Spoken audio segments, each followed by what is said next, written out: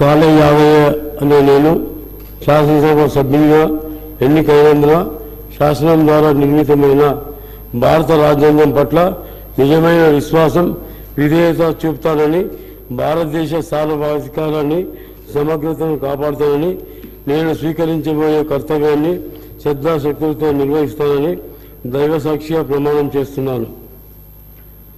తెలంగాణ శాసనసభ సభ్యుడినైన కాళ యాదయ్య అనే నేను సభా నియమాలకు కట్టుబడి ఉంటానని వాటిని అనుసరిస్తానని సభా మర్యాదలను పాటిస్తానని సాంప్రదాయాలను గౌరవిస్తానని దైవ సాక్షిగా ప్రమాణం చేస్తున్నాను.